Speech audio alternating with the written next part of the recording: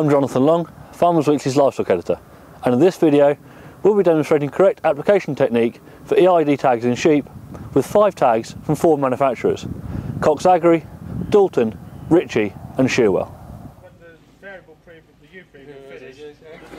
It's Joe Luke, um, area manager for Cox Agri, uh, the suppliers of Z tags to the merchant trade.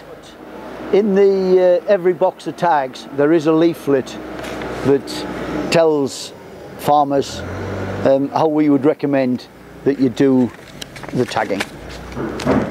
What I've got here is the Cox um, small round um, EID sheep tag which uh, goes into the, um, the standard Cox plier, uh, the same pliers you use for cattle um, and all the other Z tags.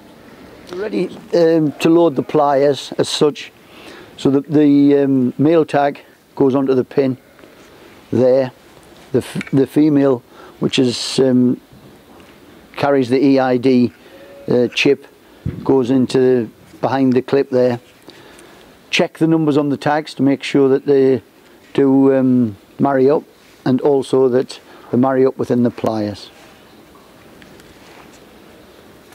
The, the best place to apply um, um, a Z tag or a, any tag to a, an animal's ear, a small round one, is in between the cartilages on the, um, the back of the ear with the, um, the female part of the tag on the inside of the animal's ear.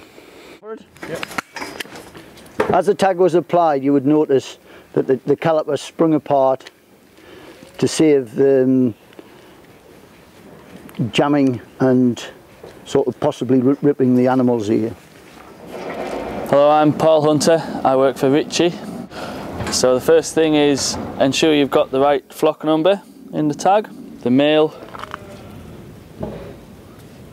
goes there. We squeeze the the plunger down. Squeeze the plunger for the female and slide it in there and then just check they're going to meet. So it's now important to dip the tag and the pliers in some mild disinfectant to limit any infections. Three cartilages that run up the ear and I want the male part of the tag to be between those two so that it doesn't cause the ear to be damaged. And then I want the tag to be as close to the sheep's head as possible.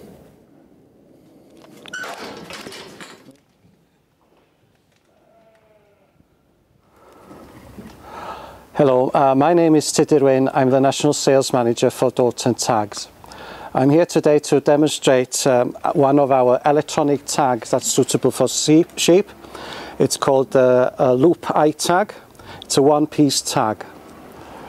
To insert the tag into the applicator, you just bend it like so, put the male part and the flush part of the jaws of the applicator, make sure it's flat against the groove, just leave the female side where the electronic tag is just hanging there, and just make sure as you press the applicator down, you will see that the pin will find the hole uh, naturally. It is recommended that the tag is applied uh, uh, roughly two-thirds along the way um, uh, length of the ear, either the third of the way down or third of the way up, make it nice and tight uh, along the, uh, the curvature of the ear. Um, I'm Richard Webber from Shearwell Data. Um, we uh, farm about a thousand ewes on the top of Exmoor. We designed our electronic tag to be light enough for a day old lamb and lasts for the length of the life of the sheep eight to ten years. So we always recommend farmers disinfect so we'll just uh, place it in some disinfectant. And we position the tag in the top of the ear. The muscle is 25% stronger in the top of the ear one third from the head two thirds from the tip in between the cartilage. You have to allow with loop tags for room for ear growth Right, this is this is the electronic tag. Now I've left room for growth of about a qu quarter of an inch there, so this lamb will carry that for the rest of its life. So there's the one cartilage, there's the other, and the tag is in the middle in this softer piece.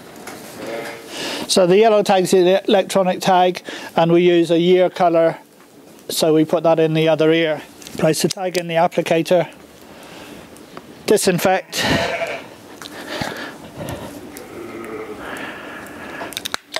and apply. There's a lamb, two tags should be there for life. Obviously, uh, we put the tags in and they're electronic, so um, we have a complete system. This handheld will hold over 500,000 animal records with management data. No other handheld will hold that many. Okay, so press the button on the side and it's read it as quickly as that. I think uh, we've got a good healthy lamb here. It's probably about five kilo, one of a double. Uh, all that will be recorded and then on from that we'll record daily live weight gain. That will be assigned to the, to the dam and the sire and from those records we can then make sure that we're breeding from sheep that are actually going to produce the money. So now we're going to a ewe. It's always important to make sure you restrain the animal properly. So as she's got lambs with her, I thought it was safer to turn her up. Um, we're going to put a flag tag in this ewe. Her ear's quite thick on the top. So what we're going to do is we're going to place it in between those two ridges. Okay, so you've got one thick sinew here and one thick sinew there. Again, one third from the head, two thirds from the tip, so it's going to go in there. And then you'll be able to read it quite easily from the back. Always disinfect, uh, especially in the lambing shed where there are lots of bugs around. So the male always goes in from the back. You can feel the sinews with your left hand. And so there we have it. Female electronic button inside and the male flag on the back. Quite a tidy tag. So here we've got um, an electronic button EID and a flag male. I put the button inside because when she put the heads in and out of wire, there's quite a distance from here to here for it to lever to get past the wire.